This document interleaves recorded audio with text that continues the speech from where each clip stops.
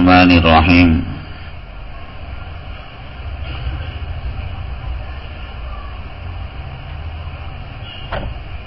پورے عالم کی جو مسلمانوں کی جو تاریخ ہے،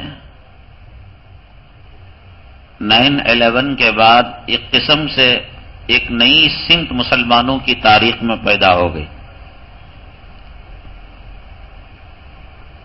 اور عالم اسلام اور مسلمانوں کے سامنے ایک نئی جنگ آ گئی دہشت گردی کے نام سے۔ مسلمانوں پر دہشت گردی کا لیبل پوری قوت کے ساتھ پوری دنیا کی باطل طاقتوں نے استعمال کیا۔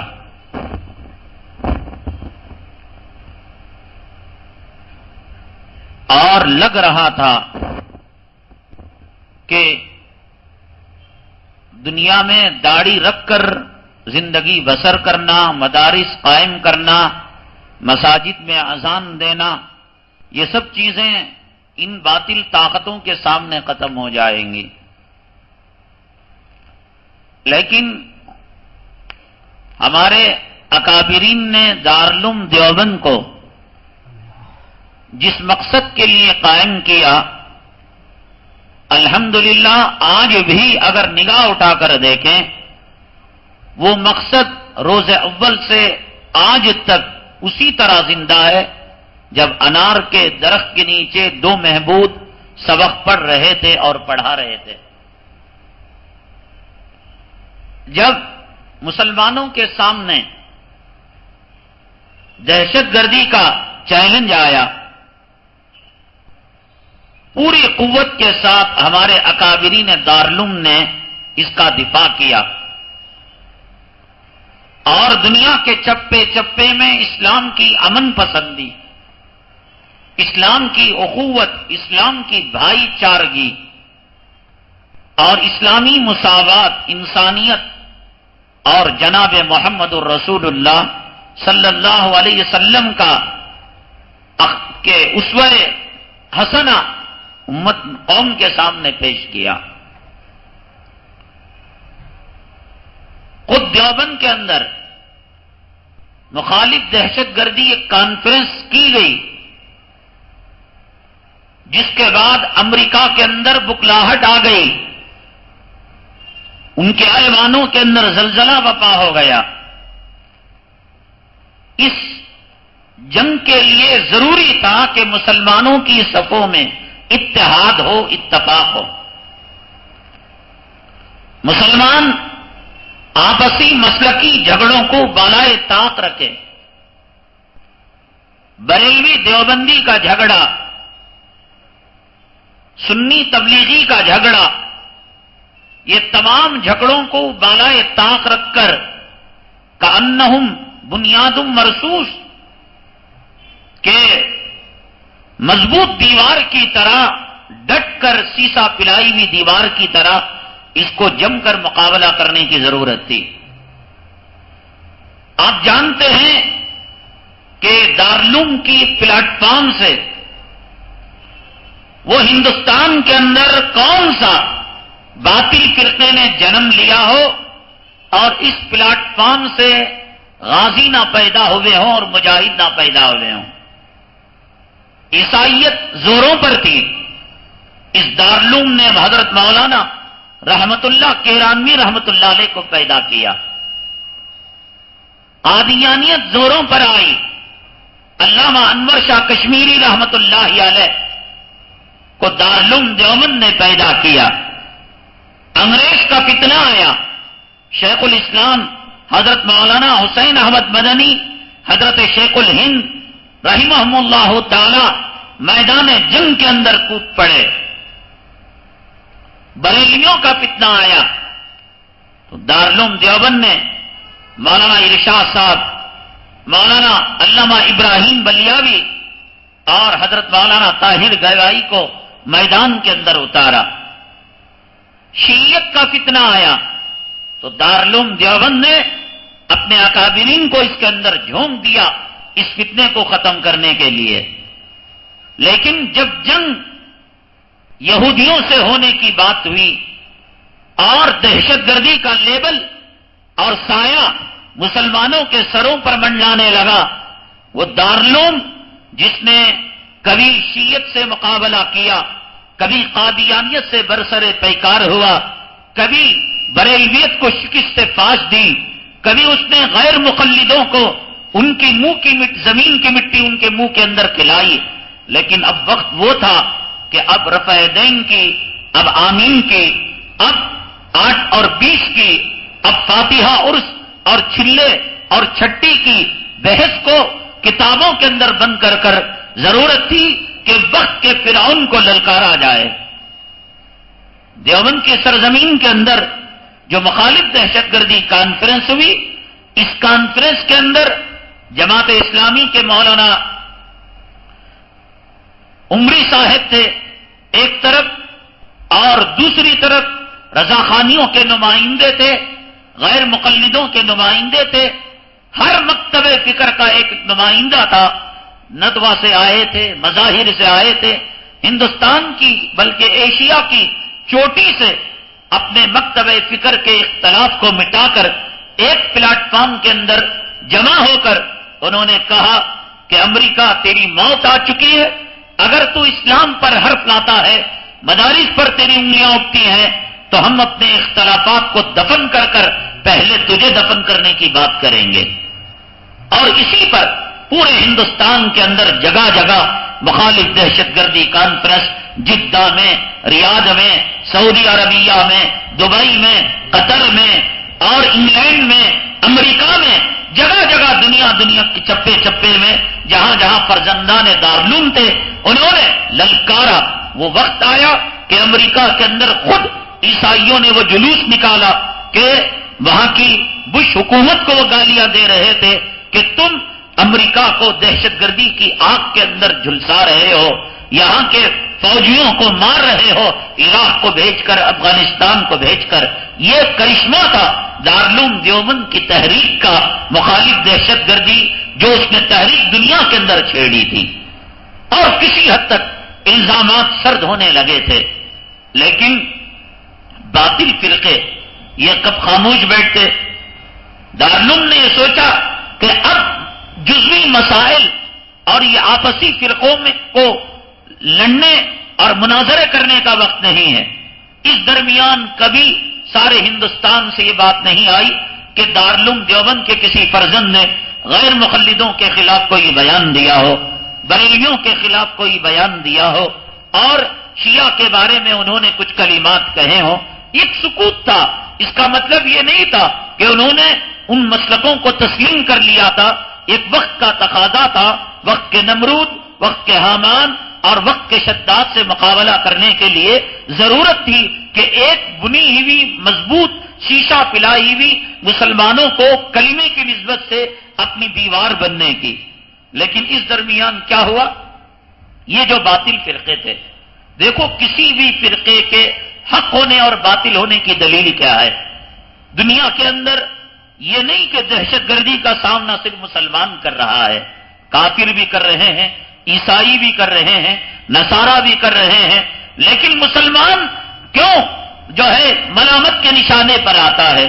مسلمان خود میدان میں آتا ہے، مسلمان غازی بنتا ہے، مسلمان شہید بنتا ہے۔ ایسا کیوں نہیں ہوتا کہ عیسائی اور ہندو کی لڑائی ہو جاتی؟ ایسا کیوں نہیں ہوتا یہود اور نصارہ کی لڑائی ہو جاتی؟ ہر ایک حملہ کرنا چاہتا ہے، ہندو مارنا چاہتا ہے، مسلمان کو عیسائی ختم کرنا چاہتا ہے، مسلمان ملک کو امریکہ کسی ملک کا وجود ختم کرنا چاہتا ہے، مسلمانوں کے ملک کا۔ یہ آپس میں لڑتے کیوں نہیں، باطل مذاہب والے؟ اسی طریقے سے آپ دیکھ لیجیے، اہل خبیص کا ایک فرقہ ہے جو اپنے آپ کو اہل حدیث اور غیر مقلد کہتا ہے۔ کبھی یہ بھیڑا ہے بریلویوں کے ساتھ، کبھی اس کے مناظرے ہوئے، کبھی قادیانیوں سے ٹکر لی ہے، کبھی انگریزوں سے ٹکر لی ہے۔ بلکہ جس وقت ہندوستان کے اندر ہمارے اکابرین نے ہندوستان کی جہاد کی آزادی کے لیے جہاد کا فتوا دیا، مولانا حسین احمد بٹالوی نے اور ڈپٹی نذیر نے، یہ وہ لوگ ہیں کہ جنہوں نے کتابیں لکھ کر ہمارے علماء کرام کی کتابوں کو انہوں نے ٹھنڈا کر دیا کہ ہندوستان کے اندر برطانیہ حکومت میں رہتے ہوئے جہاد کرنا ضروری نہیں ہے۔ یہ کیوں نہیں آپس میں لڑتے؟ شیعہ لڑتے بریلوی سے لڑتے، بریلوی لڑتا، غیر مخلف ہر ایک کی آفت یہ دیوبندیوں پر کی آئی ہے۔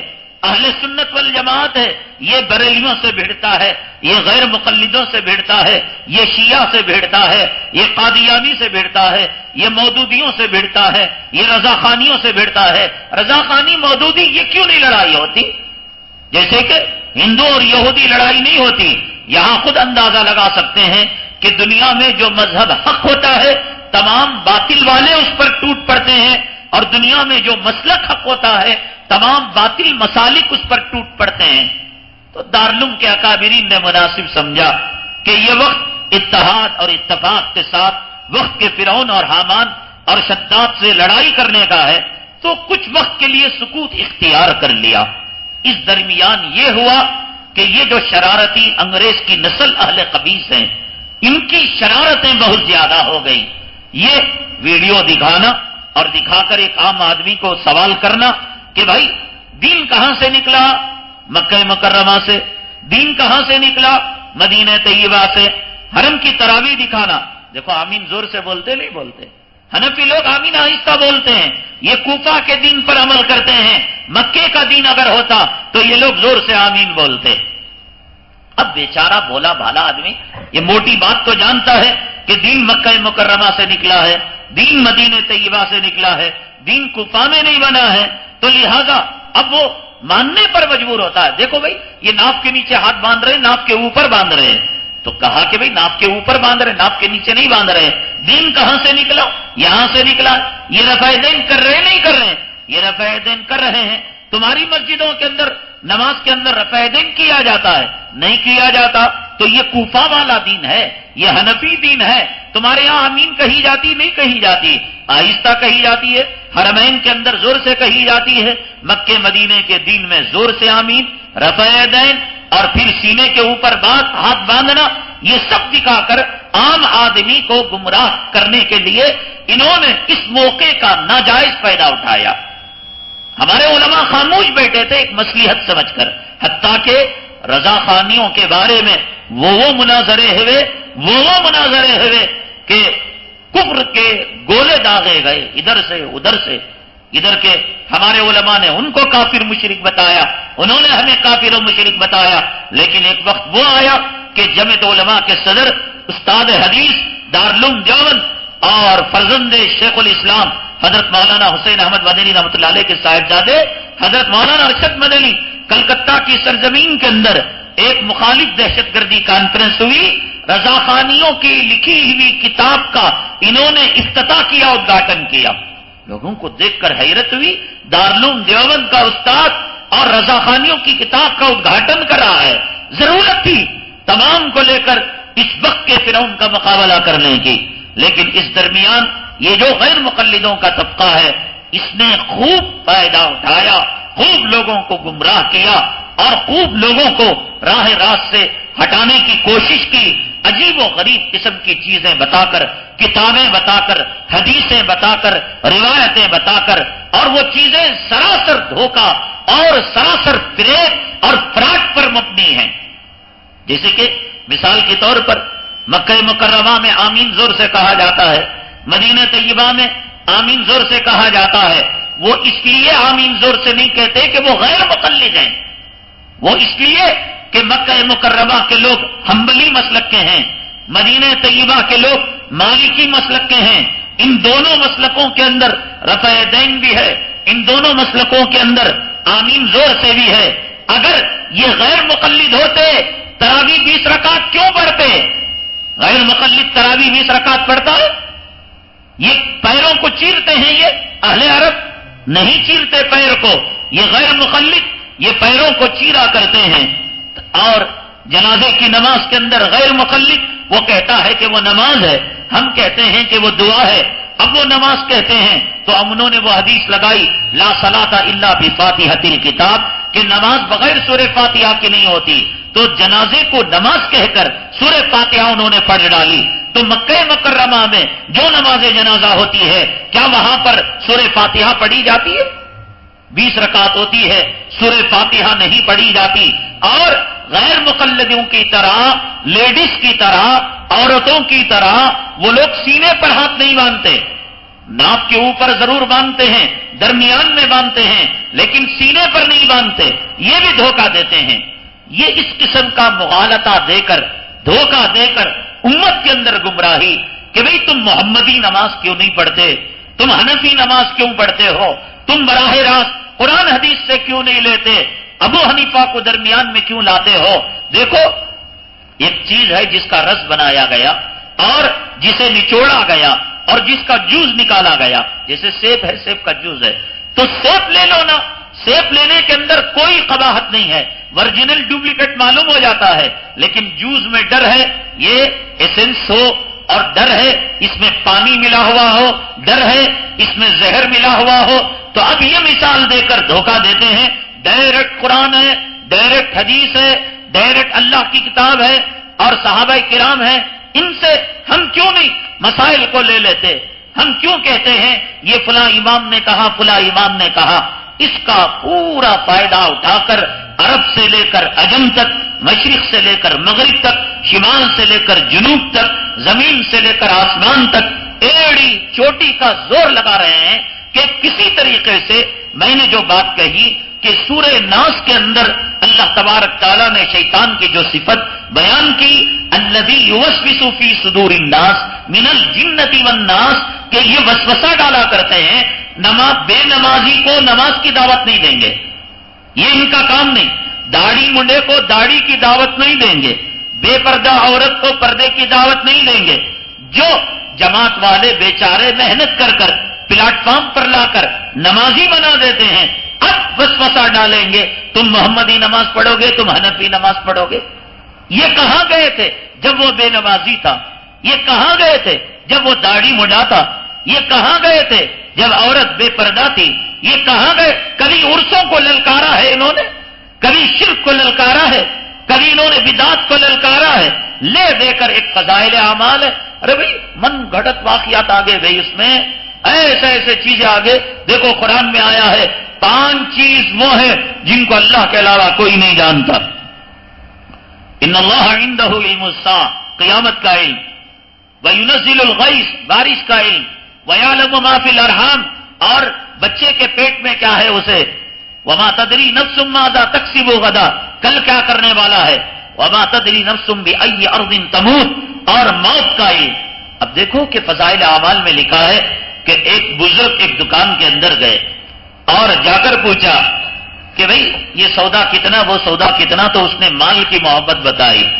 تو انہوں نے کہا کہ بھائی اتنی محبت ہے تجھے مال سے، تیری موت جب نکلے گی تو روح کبھی اس بوتل میں جائے گی، کبھی اس ڈبے میں جائے گی، کبھی اس بوریے میں جائے گی، کیسے تیری روح نکلے گی؟ دکاندار کو آیا غصہ۔ دکاندار نے حضرت، بڑی روح ہماری پوچھنے آ گئے، تمہاری جان کیسے نکلتی ہے؟ انہوں نے کہا، دیکھ اب انہوں نے وضو کیا، اب انہوں نے مسلح بچھایا اب اب انہوں نے دو رکعت نماز پڑھی، سجدے میں روح نکل گئی اور کہا کہ میری روح ایسے نکلتی ہے۔ اب پکڑ لیا کہ دیکھو، روح نکلنے کا، موت آنے کا علم قرآن کہتا ہے، حدیث کہتی ہے، اللہ کے علاوہ کوئی نہیں جانتا۔ یہ بزرگ کو کیسے معلوم ہو گیا؟ اب سامنے والا بیچارہ پریشان، یا اللہ، بات تو صحیح ہے۔ فضائل اعمال من گھڑت قصوں سے، قرآن کے خلاف ہے، حدیث کے خلاف ہے۔ ارے جس مسلمان کو پیشاب کرنے کے بعد ڈھیلا لینے کی تمیز نہیں، اس کے سامنے تصوف کا مسئلہ، اس کے سامنے تفسیر کا مسئلہ، اس کے سامنے حدیث کا مسئلہ، کہاں سے وہ اس کا حق ادا کر پائے گا؟ جسے مسواک کی لمبائی اور چھوٹائی اور موٹائی کا علم نہیں ہے، اور اس کے سامنے یہ گہرا مسئلہ رکھ دیا؟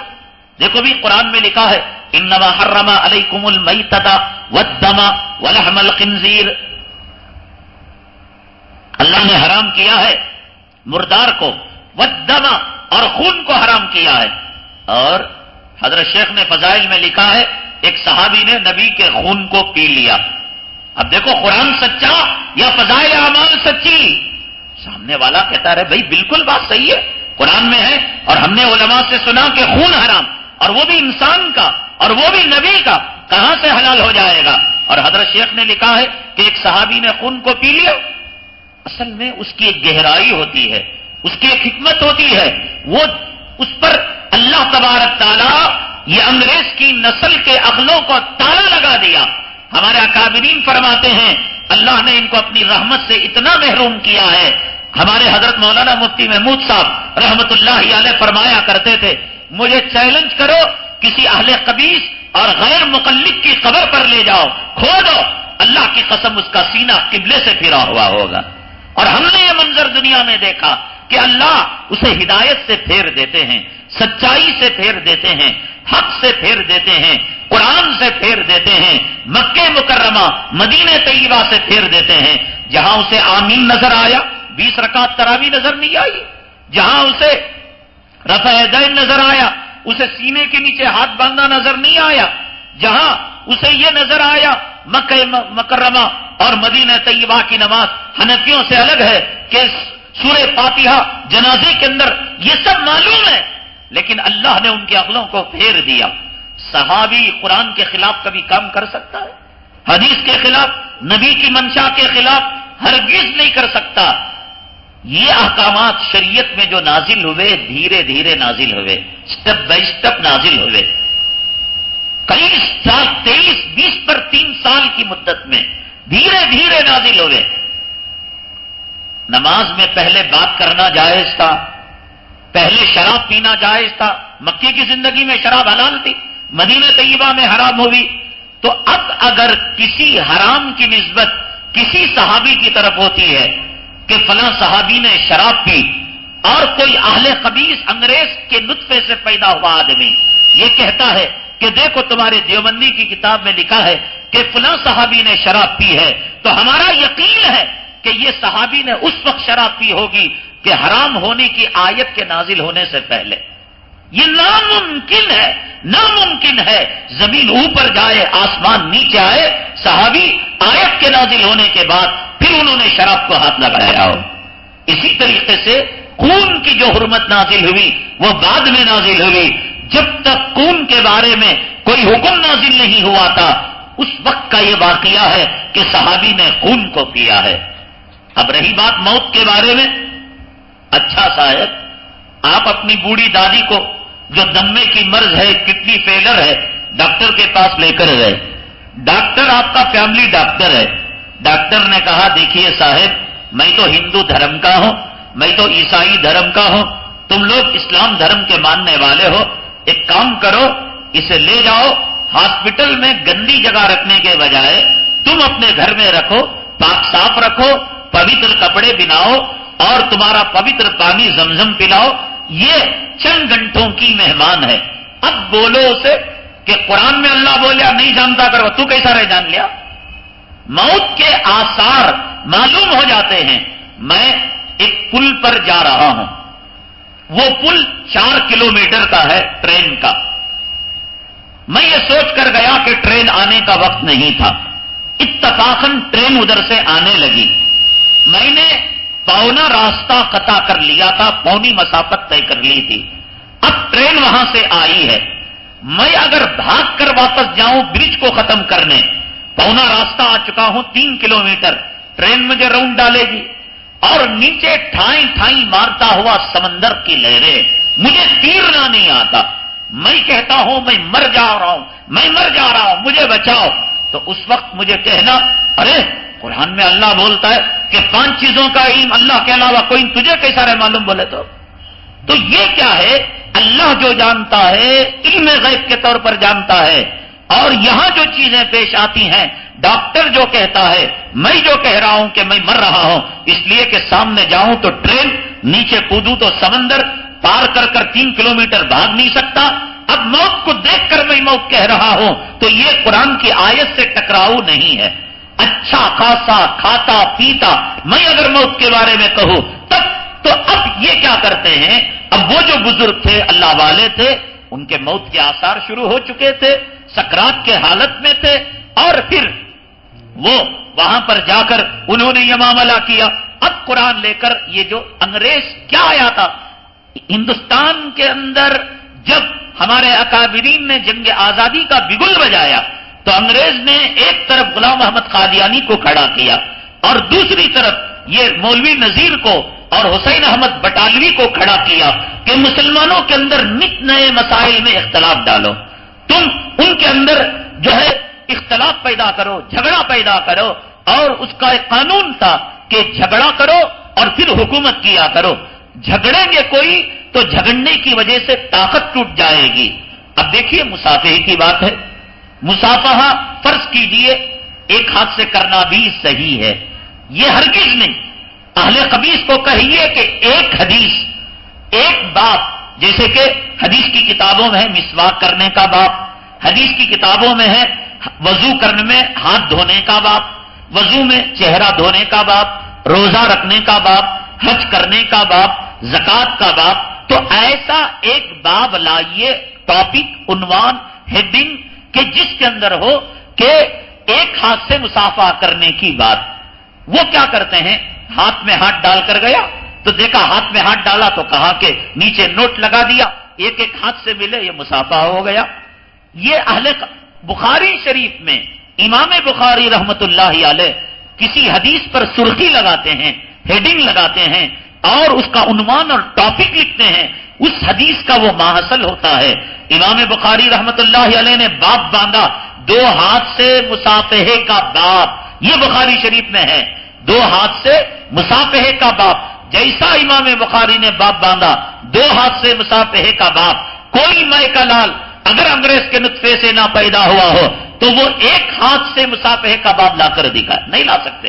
اب اس میں حضرت عبداللہ ابن مسعود رضی اللہ تعالیٰ کی روایت لائی، فرمایا، سرکار دو عالم صلی اللہ علیہ وسلم کے دونوں ہاتھوں کے درمیان میرا ہاتھ تھا اور آپ نے مجھے تشہد کو سکھایا۔ اب بتائیے، آخا دو ہاتھ دو اور حضرت عبداللہ انگریز کی طرح ایک ہاتھ دیں۔ بھائی مسلمان دو ہاتھ سے مسافہ کرتا ہے، انگریز سیلوٹ مارتا ہے اور ایک ہاتھ سے شیک ہینڈ کرتا ہے۔ تو یہ شیک ہینڈ کرنا ملک وکٹوریا سے پہلے نبی تک کسی زمانے میں نہیں تھا۔ یہ شیک ہینڈ کرنا، ایک ہاتھ سے ملنا ملک وکٹوریا کے بعد، انگریزوں کے ہندوستان میں آنے کے بعد، اسی وقت سے اس کی ایجاد ہوئی ہے۔ عربی کا ایک قانون ہے۔ کیا قانون ہے؟ انسان کے جسم میں جو ڈبل آزا ہیں، آنکھ دو، کان دو، ہاتھ دو، پیر دو، تو اس کے لیے سنگل لفظ استعمال کیا جاتا ہے۔ تنہا لفظ استعمال کیا، اسے ڈبل نہیں استعمال کرتے۔ یہ اسی چیز میں دھوکہ کھا گئے اہل قبیس کہ ڈبل لفظ نہیں استعمال ہوا سنگل لفظ استعمال ہوا ہے۔ حدیث میں آقا نے دعا سکھائی اللہ اجعلنی فی سمعی نورا وفی آئینی نورا۔ اے اللہ، میرے آنکھ میں، میری کانے میں تو نور دے۔ تو یہاں آئین کا لفظ آیا ہے آئین کے معنی ایک آنکھ کے۔ اور بسر کا آیا ہے، بسر کے معنی ایک کام کے۔ تو اس کا مطلب نہیں اللہ ایک کام کو پھوڑ دے ایک کام میں روشنی دے۔ کوئی یہ ترجمہ نہیں کرتا۔ قرآن میں ہے، وقالت یہود ید اللہ مغلولا یہودوں نے کہا، ید ید، اللہ کا ہاتھ بنا ہوا ہے۔ کسی نے ترجمہ نہیں کیا، ایک ہاتھ کھلا ہے، ایک ہاتھ بندھا ہوا ہے۔ تو یہ ایک مزاج ہے عربی کا کہ ید کہہ کر دونوں ہاتھ برائے، برا دے جاتے ہیں۔ میں پیر سے چل کر آیا۔ میں آنکھ سے دیکھ کر آیا تو اس کا مطلب نہیں ایک آنکھ پر پٹی بنی ہوئی تھی، ایک آنکھ سے دیکھ کر آیا۔ میں پیر سے مارا، دھر کر اس کو۔ تو اس کا مطلب نہیں، ایک پیر کو پٹی بنی ہوئی تھی، بینڈس اور ایک پیر سے مار رہا تھا۔ ایک حدیث ہے، المسلم من سلم المسلمون من لسانی ہی ویدی مسلمان وہ ہے جو اپنی زبان سے اور ہاتھ سے دوسروں کو تکلیف نہ دے۔ یہاں ید کا لفظ تنہا ہے۔ تو اس کا مطلب نہیں ایک ہاتھ سے دے مار دے مار اہل قبیص کو، انگریز کے بچے کو۔ اور پوچھے تو کہنا کہ بھئی دو ہاتھ کی تھوڑی نہ تذکرہ ہے۔ ایک ہاتھ روکنے کی بات ہے، ایک ہاتھ سے مارنے کی بات ہے۔ تو یہاں کوئی ترجمہ نہیں کرتا کہ ایک ہاتھ چھوڑ کر ایک ہاتھ سے مارے یہ اہل قبیص ہے خدا ان کو غارت کرے۔ انہوں نے حدیث کے غلط مانے اور غلط ترجمے بیان کیے۔ دیکھو انگریزوں کی چال۔ بلو بل فرض ایک ہاتھ کا بھی مسافہ ہے۔ اور دو ہاتھ کا بھی مسافہ، دونوں بھی ہیں، اگر مانا جائے تو سلامتی کس میں ہے؟ دو ہاتھ کے مسافے میں، ایک ہاتھ کا مسافہ آ جاتا ہے۔ آتا نہیں آتا؟ اگر آدمی دو ہاتھ ملے، ایک ہاتھ آ ہی جاتا ہے۔ تو اگر آدمی دو ہاتھ کا مسافہ کرے، ایک ہاتھ والی حدیث پر عمل ہو جائے گا۔ ان حرامزادوں کو ضد ہے نبی کے عمل سے کہ وہ اس عمل کو توڑنے کے لیے اس کو ایسا برائی سے بیان کرتے ہیں گویا دو ہاتھ کا مسافہ کرنا کوئی کفر کا اور شرک کا کام ہے۔ دیکھیے، حدیث کے اندر آقا نے فرمایا، کوئی تم میں کا آدمی استنجا کرے تو چاہیے کہ وہ دامے ہاتھ سے کرے، سیدھا ہاتھ نہ لگائے۔ تم میں کا آدمی کوئی کھانا کھائے، چاہیے کہ سیدھے ہاتھ سے کھائے داما ہاتھ نہ لگائے۔ جو نبی کھانے میں استنجا میں ہاتھ لگانے کی بات کر رہے ہیں، یہ ڈاوا ہاتھ مسافے میں لگنا اتنی بری بات تھی۔ ان اہل قبیز سے کہو کہ اب تک تمہارے انگریزوں کی ضروریت پیدا ہوئی اور قیامت تک پیدا ہو رہی ہے۔ ان سے کہو کہ آقا نے ایک ہاتھ مسافے میں لگ کر دانا ہاتھ نہ لگنے کی کوئی روایت قیامت تک لاؤ۔ یہ نہیں لا سکتے۔ ان کو ضد ہے، چیڑ ہے اور یہ پیدا ہوئے اختلاف پیدا کرنے کے لیے، جھگڑا پیدا کرنے کے لیے۔ فرض کرو کہ تراوی کی آٹھ رکعت، بیس رکعت کا جھگڑا ہے۔ دونوں روایتوں کو مانا جائے۔ حالانکہ آٹھ رکعت کی تراوی ہے ہی نہیں صرف بیس رکعت ہے۔ حرمین میں بیس رکعت، عمر فاروق کے دور میں، حضرت عثمان غنی کے دور میں تعلیم کے دور میں، آج تک مکہ مکرمہ مدینہ طیبہ میں حضرت عمر فاروق رضی اللہ تعالیٰ عنہ کے سال سال سے لے کر پیچھے پیچھے پیچھے پیچھے ایک سال بھی آٹھ رکعت تراوی نہیں۔ ولو بل فرض مان لو، یہ آٹھ، یہ بیس کا جھگڑا ہے۔ تو اگر ایک آدمی کہہ رہا ہے کہ تمہیں بامبے جانے کے لیے ٹرین کے اندر ہزار روپے ٹکٹ، ایک آدمی کہہ رہا نہیں صاحب، میں آٹھ سو میں لیا تھا۔ احتیاط کس میں ہے؟ ہزار روپے لے جانے میں ہے، آٹھ سو روپے لے جانے میں ہے۔ ہزار روپے لے جانے میں ہے، ہزار روپے لے گئے، آٹھ سو کی ٹکٹ بن گئی، دو سو روپے پھر بھی نفے میں۔ آٹھ سو لے کر گئے، ہزار روپے کی ٹکٹ تھی، تھکا لے کر چپل کھا کر واپس آنا پڑتا ہے۔ اگر بیس رکعت تراوی اور آٹھ رکعت تراوی کا جھگڑا ہے، بیس رکعت تراوی پڑھنے میں آٹھ رکعت تراوی آ جاتی ہے اور اللہ کے یہاں ولو بالفرض اگر آٹھ رکعت تراوی بھی ہے تو ہم کہہ لیں گے، مولا، یہ ہمارے علماء نے بڑوں نے کہا، ہم نے پڑھ لیا، تو اس کو نفل بنا دے، اللہ نفل بنا دیں گے۔ لیکن اگر ہو بیس رکعت اور کوئی انگریز کا بچہ آٹھ رکعت پڑھے، تو پھر بارہ رکعت کا جواب وہ قیامت میں دیتا رہ جائے گا اور ساری امت جنت کے اندر چلی جائے گی۔ تو یہ وہ طبقہ ہے کہ ہر اعتبار سے، حدیث کے اعتبار سے، فقہ کے اعتبار سے اور تفصیل کے اعتبار سے بالکل پچھڑا ہوا طبقہ ہے اور یہ جو مخالف دہشت گردی کانفرنسوں کی جو لہر ہمارے علماء نے پورے عالم کے اندر پھیلائی اور انہوں نے کہا، اللہ کی قسم میں ممبر رسول پر بیٹھ کر کہہ رہا ہوں۔ میرے پاس کئی جگہ سے تقاضے آتے، حضرت بریلوی لوگ بہت ستاتے ہیں، حضرت غیر مقلد ستاتے ہیں۔ آئیے، آپ ان کے بارے میں کچھ کہیے۔ اللہ گواہ ہے، میں کہتا ہوں کہ بھائی یہ وقت جو ہے آپسی اختلافات کا نہیں ہے۔ آپسی جھگڑوں کا نہیں ہے۔ مشکل سے ماضی قریب کے اندر شیموگا کا ایک بیان ملے گا کہ جو ہم نے غیر مقلدوں کے بارے میں کہا۔ لیکن زبان پر لگام لگا کر پیار کے ساتھ، محبت کے ساتھ، اس لیے کہ ہمارے سامنے بڑا چیلنج ہے۔ ہمارے سامنے بڑا دشمن ہے۔ لیکن اس کا مطلب یہ نہیں کہ ہم تم سے غافل ہیں کہ تم گلی گلی، چپے چپے میں جھگڑا کرتے پھرو، اختلافات کرتے پھرو اور چیلنج دیتے پھرو۔ مثال کے طور پر ایک جو ہے اشتہار انہوں نے چھاپا ہے اور لکھا ہے، حوالہ غلط ہوگا تو پانچ لاکھ کا نقد انعام دیا جائے گا۔ کیا مسئلہ ہے کہ آدمی نماز پڑھتا ہے۔ میں نماز پڑھ رہا ہوں۔ قرآن شریف کو کھولا، دیکھا، بند کیا اور رکھ دیا تو نماز فاسد ہو جائے گی۔ اور اگر نماز پڑھتے ہوئے خدا نہ کرے، خدا نہ کرے کسی عورت کی شرمگاہ پر نگاہ پڑ گئی تو فقہ کی کتاب میں لکھا ہے کہ نماز نہیں ٹوٹے گی۔ اب واویلا مچایا انگریز کے بچے نے۔ دیکھو جی قرآن اٹھائے تو نماز ٹوٹ جاتی ہے شرم کا دیکھے تو نہیں ٹوٹتی یہاں دیکھ لو۔ کتنے گندے لوگ ہیں۔ یہ محمدی مسلک نہیں، یہ حنفی مسلک کے لوگ ہیں۔ دیکھو، دونوں میں فرق ہے۔ دونوں میں فرق ہے۔ ہم جو نماز ٹوٹنے کی بات کہتے ہیں، وہ قرآن پڑھنے سے نہیں ہے۔ قرآن تو تراوی میں بھی پڑھا جا رہا ہے۔ کوئی حنفی نہیں کہتا کہ نماز ٹوٹتی۔ نماز جو ٹوٹتی ہے، عمل کثیر سے ٹوٹتی ہے۔ عمل کثیر اس کو کہتے ہیں کہ باہر کا دیکھنے والا یہ سمجھے کہ ہم داخل نماز نہیں۔ ہم نماز میں ان نہیں ہیں، نماز میں نہیں ہیں۔ اب میں قرآن اٹھایا، سورہ مریم کھولیا، سورہ تاہا کھولیا۔ امام صاحب پڑھ رہی دیکھ کو فالو کریا۔ تو دیکھنے والا کیا سمجھتا انہیں نماز میں نہیں ہے۔ عمل کثیر ہوا۔ لیکن نماز کے اندر غلط جگہ نگاہ پڑی۔ میں کہتا ہوں، شرابی زانی نماز میں نگاہ پڑی۔ استغفر اللہ، آنکھ پر کاٹے آ جاتے ہیں جھریا آ جاتے ہیں۔ تو اس لیے فقہ نے کہا، اس عمل سے نماز نہیں ٹوٹے گی، لیکن یہ کام کرنے سے نماز ٹوٹے گی۔ اب اس کا حلیہ بگاڑ کر، اس کا جو ہے لباس اتار کر، غلط طریقے سے قوم کے سامنے قرآن پڑھے تو ہنفیاں کیا نماز ٹوٹ جاتی ہے؟ شرم گا دے گی تو نماز نہیں ٹوٹتی۔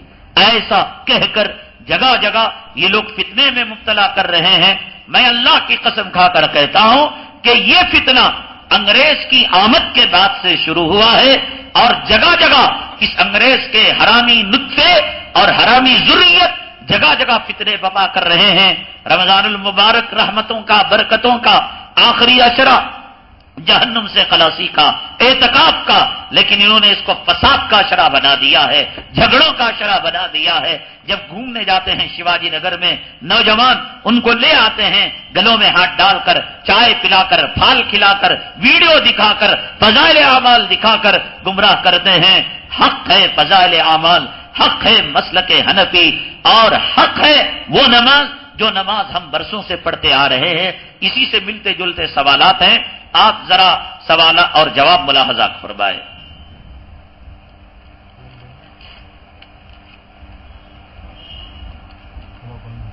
دیکھیے، انہوں نے چونکہ ادب کے دائرے میں رہ کر سوال کیا ہے، اس لیے ہم جواب دے رہے ہیں۔ اگر بے ادبی کرتے تو ہم اس سوال کو ہاتھ نہ لگاتے۔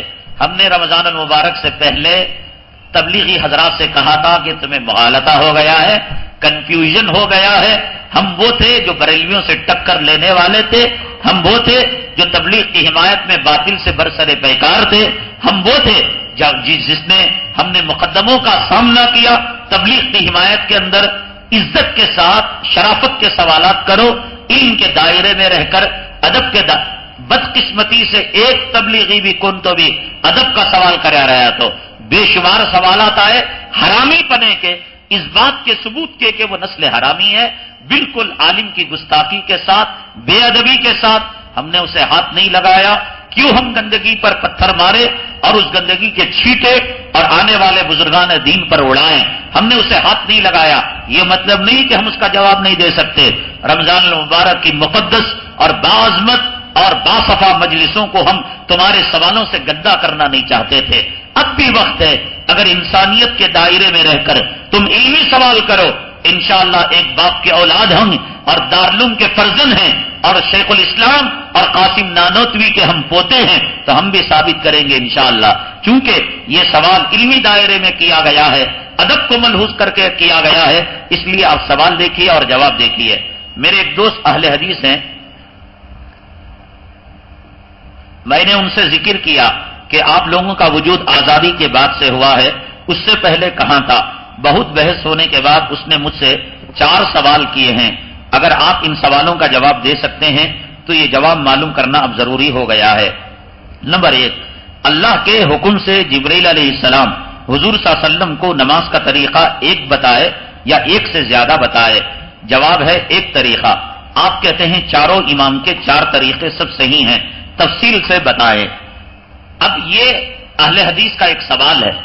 سب سے پہلے جب اللہ کے نبی صلی اللہ علیہ وسلم کو نماز سکھائی گئی، تو وہ جبریل علیہ السلام آئے اور نماز کو پہلے دن پہلے وقت میں اور دوسرے دن نماز کے آخر وقت میں یعنی صبح صادق کے وقت اور طلوع آفتاب سے پہلے فجر کی نماز، دو وقت دو۔ یہ کہہ رہے ہیں کہ جو جبریل امین بتائے وہ ایک نماز تھی یا چار نمازیں تھیں؟ یہ چار اماموں کے پاس نمازوں کے طریقے الگ ہیں، مسئلے الگ ہیں، مسائل الگ۔ تو جب جبرائیل نبی کو ایک نماز سکھائے، تو یہ چار امام کہاں سے پیدا ہو گئے؟ دیکھو، عقل سے کام لو، حدیث دانی کرو۔ کسی اردو کتاب کا ترجمہ اور کسی انگریزی کتاب کا ترجمہ نیٹ پر دیکھنے سے تم علامہ نہیں بن جاتے۔ بہت اونچی چیز ہے حدیث کو سمجھنا۔ کیا نماز کی سکلاٹ کیا نماز کی تعلیم اسی پر ختم ہو گئی؟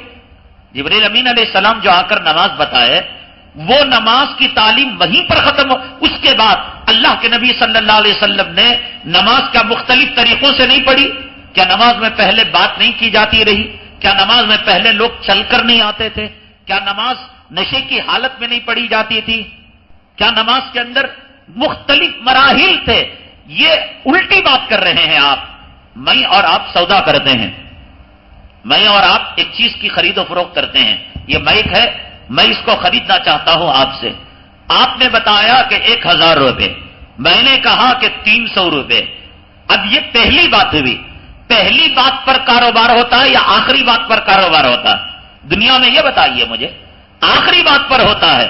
یہ نماز کی پہلی حدیث ہے جو جبریل امین علیہ السلام اللہ کے نبی صلی اللہ علیہ وسلم کو سکھائے ہیں۔ اس کے بعد نماز مختلف مرحلوں سے گزری ہے۔ ایک صحابی آتے، دوسرے صحابی کو کونی مارتے۔ یہ کتنے رکعت ہوئے؟ انہیں بولتے، دو رکعت۔ جلدی جلدی دو رکعت پڑھ لے۔ آج ہمیں بات کر سکتی کیا؟ نماز کے اندر وہ منسوخ ہو گئی چیز۔ اور نماز نشے کی حالت میں پڑھتے تھے۔ قرآن میں آیا، لا تقرب السلام ون تم سکارا۔ اے مسلمانوں، نماز کے قریب نہ جاؤ، تم نشے کی حالت میں ہو۔ وہ حدیث وہ عمل منسوخ ہو گیا۔ تو تم جو بات کر رہے ہو، بے وقوفی کی بات کر رہے ہو، سودے میں پہلی بات کو لیے ہو، سودے میں فائنلائز آخری بات ہوتی ہے۔ میں نے کہا تین سو، آپ نے کہا ہزار، پھر کہا کہ آپ نے بتایا ساڑھے نو سو، میں نے کہا پانچ سو۔ ہوتے ہوتے ہوتے سات سو میں سودا طے ہوا۔ اب یہ سات سو فائنل بات ہے۔ اسے چھوڑ ڈال کر اب دادا صاحب تھے نا نانا تھے نا، وہ ٹیمپو کیا سودا طے ہوا تھا؟ یہ غلط بات ہے۔ حدیث میں نماز کی پہلی حدیث وہ جبریل علیہ السلام نے جو سکھایا، وہ دلیل نہیں ہے۔ دلیل وہ ہے کہ نبی نے آخری زمانے میں جو بات کہی ہے۔ اب میں ایک بات کہتا ہوں۔ ایک تقریر میں کر رہا ہوں۔ لوگوں، نماز چھ وقت کی فرض ہے۔ نہیں نہیں نہیں، معاف کرنا پانچ وقت کی فرض ہے۔ تو اس میں کون سی بات صحیح؟ جو بعد میں میں نے کہی پانچ وقت کی وہ نہ صحیح، جو پہلے کہی وہ بات غلط ہے۔ تو اس لیے ہمارے مستحدین ہمارے علماء آخر میں جا کر جو فائنلائز ہوتا ہے، اس کو عمل میں لاتے ہیں۔ یہ آپ کی گنتی ہی غلط ہے کہ آپ الٹی گنتی گن رہے ہیں۔ ہم گنتی وہاں سے گنتے ہیں، تم گنتی یہاں سے گن رہے ہو۔ اس لیے یہ نماز قابل حجت نہیں ہے۔ قابل جو ہے استدلال نہیں ہے۔ نماز وہ جب نماز کی آخری شکل بن گئی ہے۔ اس کے بعد کئی شکلیں تھیں۔ نشے کی شکل تھی، بات کرنے کی شکل تھی، نماز میں چلنے کی شکل تھی رکاتوں کی پوچھنے کی شکل تھی رفیدین کی شکل تھی۔ یہ تمام کو پورا کرنے کے بعد فائنل جو نماز ہوئی، ابو حنیفہ رحمت اللہ علیہ نے اس کو لیا۔ ان کے پاس ایک قانون ہے، ان کے پاس ایک ترازو معیار ہے، اس میں تول کر وہ حدیثوں کو سامنے رکھ کر وہ مسئلہ بناتے ہیں۔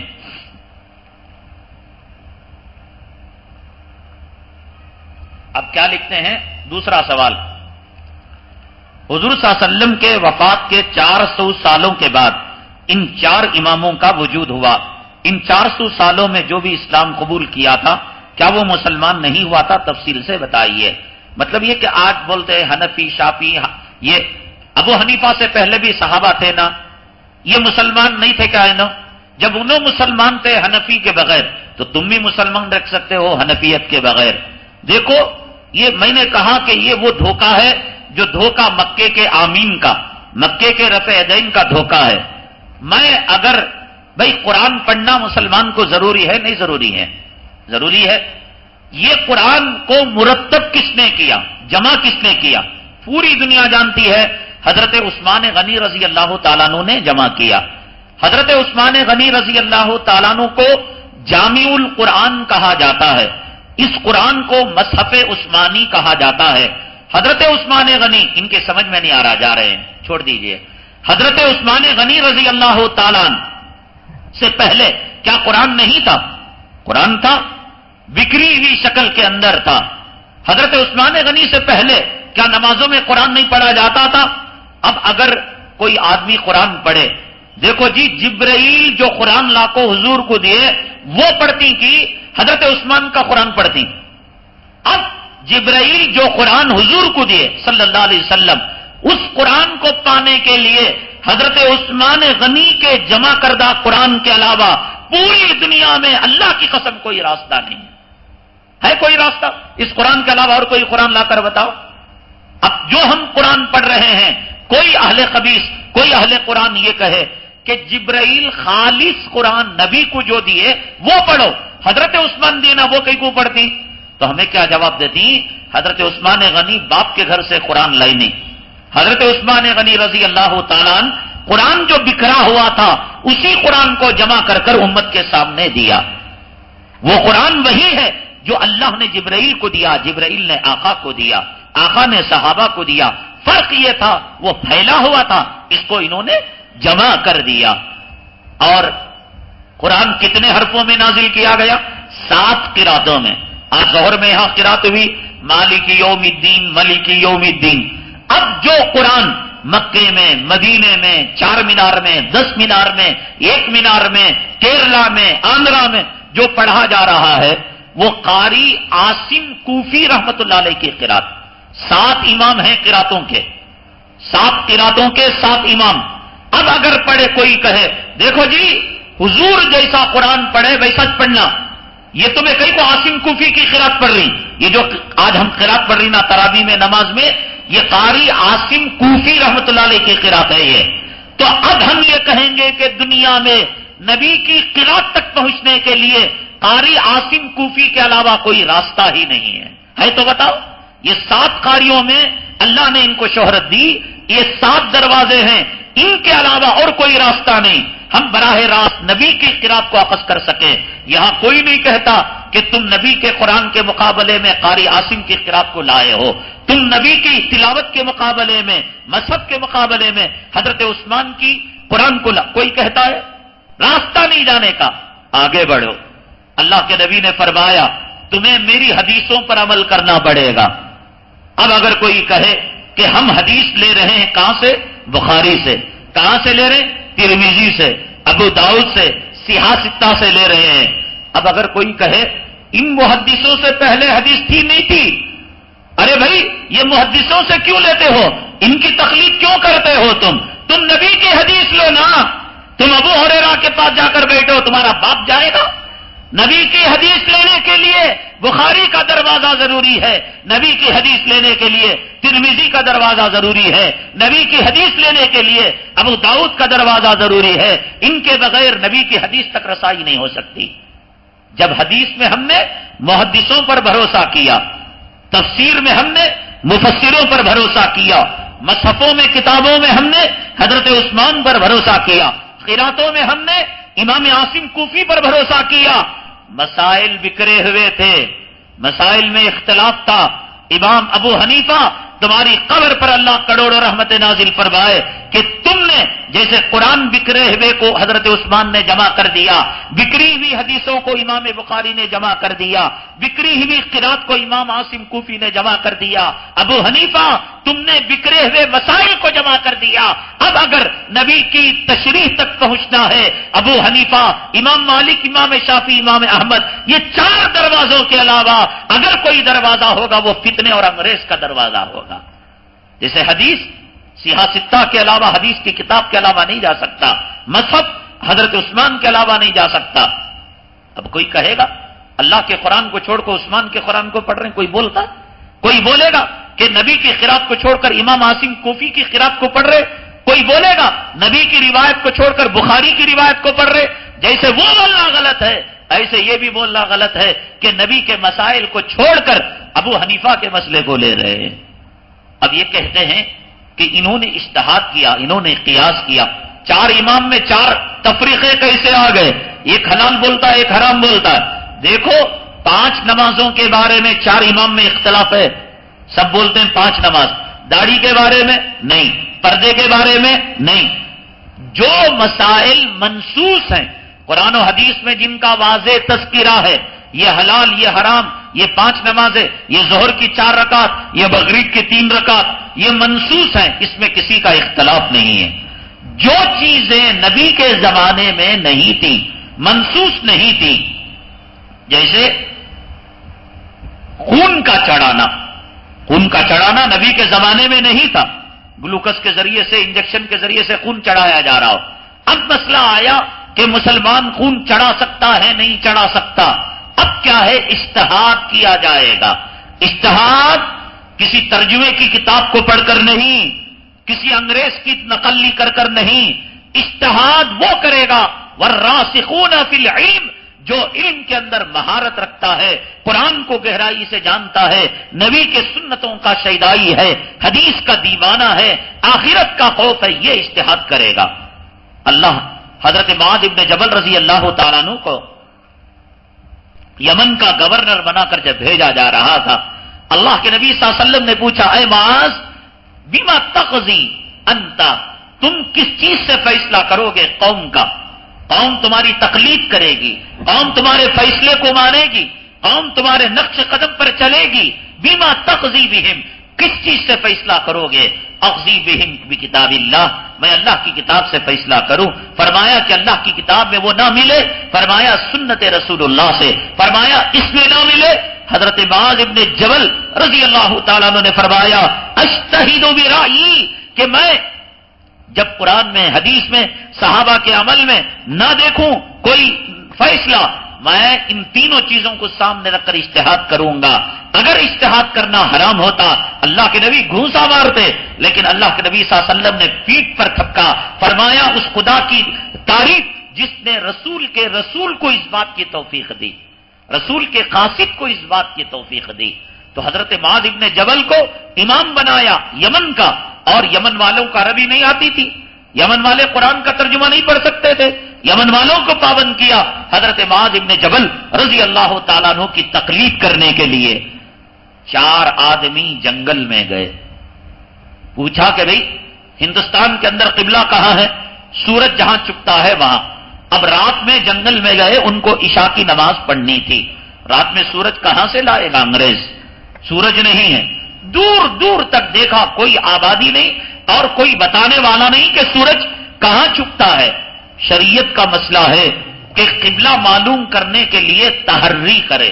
تحری کہتے ہیں اپنی پوری عقل، پورا علم اور پوری سمجھ بوجھ کو قبلہ معلوم کرنے کے اندر لگا دو۔ اور فقہ نے مسئلہ لکھا کہ اگر آدمی نماز پڑھتا ہے ایسے علاقے میں جہاں قبلہ معلوم نہیں اور اس نے تحری نہیں کی یعنی اس نے قبلے کی شناخت نہیں کی نماز پڑھ لی اتفاقن قبلہ صحیح تو نماز ہو گئی۔ اگر قبلہ غلط تو نماز دہرانے کی ضرورت۔ لیکن یہاں دیکھو مسئلہ کیا ہے۔ ابو حنیفہ کا حنفی، امام مالک کا مالکی، امام شافی کا شافی امام احمد کا حنبلی، چار مسلک کے چار لوگ سفر میں گئے جنگل میں۔ اب جنگل میں جا کر، اب قبلہ معلوم نہیں۔ ان کو تحری کرنا، قبلہ فائنڈ آؤٹ کرنا۔ ایک بولیا ادھر مشرق، ایک بولیا مغرب، ایک بولیا شمال، ایک بولیا جنوب۔ چاروں کے چاروں نے اپنی اپنی سمت میں نماز پڑھی۔ ایک مشرق، ایک مغرب، ایک شمال، ایک جنوب، ایسٹ، ویسٹ، نارتھ، ساؤتھ۔ ظاہر سی بات ہے، چار طرف تو سورج نہیں ڈوبتا، سورج ایک طرف ڈوبتا ہے۔ تو اب یہ مطلب ہوا کہ صبح میں تحقیق کرے کہ جہاں سورج ڈوبا، وہاں نماز ہوئی، جہاں نہیں ڈوبا، ان لوگوں کو نماز جو ہے پھر صحیح کرے۔ لیکن شریعت کا مسئلہ یہ ہے کہ تحری کرنے کے بعد، اشتہاد کرنے کے بعد چاروں کی نماز صحیح ہو گئی، چاروں کو نماز دوہرانے کی ضرورت نہیں ہے۔ بغیر تحری کے، بغیر اشتہاد کے اگر غلط نماز پڑھی تو نماز دوہرانے کی ضرورت ہے۔ اب بولو، ایک مشرق، ایک مغرب، کیسا ان کی نماز صحیح ہو گئی؟ تو ایسا چار اماموں میں حدیثوں کو لے کر مسائل میں اختلاف ہے۔ ایک مکرو بولتا ہے، ایک مکرو تنظیمی بولتا ہے۔ اسی اشتہاد کے نتیجے میں بولتا ہے۔ اور شریعت کا مسئلہ ہے آخا نے فرمایا المشتحد یختی و یوسیب کہ اشتہاد کرنے والا صحیح بھی کرتا ہے، خطا بھی کرتا ہے۔ اور صحیح کرتا ہے، ایک دو اجر پاتا ہے، خطا بھی کرتا ہے، تو ایک اجر اس کو ملتا ہے۔ قرآن اور حدیث میں چھوٹی چھوٹی باتوں کا ذکر ہے۔ اور دلیل ہے کیا آپ ان چار اماموں کی کوئی دلیل بتا سکتے ہیں؟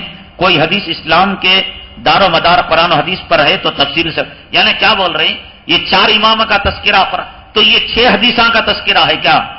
بخاری جو بخاری بخاری بولتے ہیں، تو اللہ کے نبی نے کبھی کہا کہ تم بخاری پر عمل کرو، تم ترمیزی پر عمل کرو۔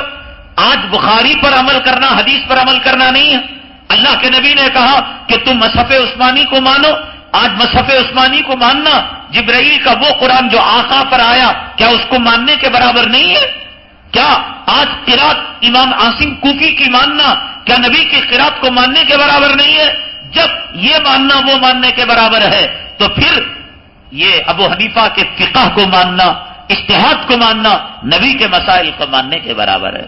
تو نبی نے حدیثوں کی کتاب تم کہتے ہو، قرآن حدیث کے علاوہ ہم کسی چیز کو نہیں مانیں گے۔ تو امام بخاری کو کیوں مانتے ہو تم؟ کیوں مانتے ہو امام بخاری کو؟ کیوں سہارا لیتے ہو؟ تمہارے پاس آدمیوں کی شک حیثیت کیا بھی نہیں ہے۔ امام بخاری کیوں مانتے ہو تم؟ تو جب مانو گے حدیث کے اندر، تو فقہ کے اندر ابو حنیفہ کو ماننا پڑے گا۔ جب نبی نے حدیث میں امام بخاری کا نام نہیں لیا، تو نبی نے فقہ میں ابو حنیفہ کا بھی نام نہیں لیا۔ تو جب نام نہیں لیا، حدیث میں ان کو امام المحدثین مانا جا رہا ہے، تو فقہ میں ان کو امام اعظم مانا جا رہا ہے۔ تو وہاں ماننے میں تمہیں کوئی جھگڑا نہیں. یہاں کیوں جھگڑا؟ یہاں اس لیے جھگڑا کہ انگریزوں نے تمہیں جھگڑا کرنے کے لیے کھڑا کیا. پھر وہی بات، کیا حضور صلی اللہ علیہ وسلم بتا کر گئے تھے، میرے بعد چار امام آئیں گے. آپ لوگ ان کی پیروی کرو اور ان کے نقش قدم پر چلو. کیا حضور یہ بتا کر گئے تھے، میرے بعد محدثین آئیں گے. تم ان کی حدیثوں کو مانو اور کسی کی حدیث کو ضعیف مانو، کسی کی حدیث کو قوی مانو، کسی کو حدیث کو متفق علیہ مانو، کسی کی حدیث کو مرفو مانو، کسی کو حدیث کو مختو مانو۔ یہ کہاں؟ یہ کہاں ہے؟ یہ سب علماء محدثین نے اس فن کو بنایا ہے۔ یہ سب بیکار کی باتیں ہیں۔ بہرحال یہ وہ جوابات ہیں انہوں نے انسانیت سے پوچھے۔ میں ابھی بھی کہتا ہوں اگر سمجھ نہ آتا ہو، انسانیت کے احترام کے دائرے میں رہ کر پوچھے، الحمدللہ، میں رمضان المبارک کا آخری اشرا کلام پاک کے انتیس پارے ختم، ایک پارا قریب الختم، ہماری موت کو مد نظر کر میں حلفیہ کہتا ہوں، انگریز نے اس طبقے کو پیدا کیا امت میں اختلاف اور جھگڑا پیدا کرنے کے لیے، اللہ کے لیے ان کے فتنے سے آپ بچے انشاءاللہ بقیہ تفصیلات ہم کل عرض کریں گے۔ محمد ہدایت شریف طبیعت ناساز ہے۔ اللہ ان کو صحت و شفا نصیب فرمائیں ایک کتاب ہے، بڑی بہترین کتاب، غیر مقلدوں کی خانہ تلاشی۔ ان کے یہ کتاب غیر مقلدوں کے اندرونی جو گندے مسائل ہیں۔ اب انہوں نے کہا کہ نماز میں ہمارا حنفی شرمگا دیکھے نماز نہیں ٹوٹتی، وہ گندا مسئلہ بولتے ہیں۔ لیکن ان کے کتنے گندے مسئلے ہیں، اس کتاب کے اندر ہیں، اس کو آپ لے جائیں۔ جاویدہ خانم کی طبیعت ناساز ہے، اللہ تعالیٰ انہیں صحت و شفا نصیب فرمائے۔ سید سمیر صاحب گرو پن پالے کے رہنے والے اس مسجد کے بڑے قدیم مسلی ہیں۔ ڈھائی سال سے بلا وجہ جیل کی صحبتیں برداشت کر رہے اہل خانہ بڑے پریشان ہیں اور چھوٹے چھوٹے ننے منع بچے تڑپ رہے ہیں، بلک رہے ہیں۔ خاص طور سے جو موتقفین حضرات ہیں، ان سے مادبانہ درخواست۔ سید سمیر نام لے کر دعا کریں، کل جو ہے، بحث و مباحثہ ہونے والا ہے عدالت کے اندر۔ اللہ کرے ان کو ضمانت مل جائے، اللہ انہیں رہائی نصیب فرمائے، اللہ ان کے اولاد کو، ان کے باپ کا سایہ نصیب فرمائے اور اللہ ان کی بیوی کے سہاگ کو واپس فرمائے۔ ممتاز بیگم صاحبہ، کینسر میں کے مرض میں مبتلا ہیں، اللہ انہیں سے تو شفا نصیب فرمائے۔ اور ایک صاحب ہیں، مرحوم بشیر احمد کیا ہے، وہ مرحوم اللہ ان کی مفرت فرمائے۔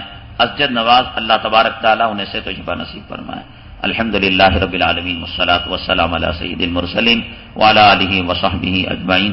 اللہم انکا عفو کریم، تحب العفو عنا. سبحان ربک رب العزت عما یصفون.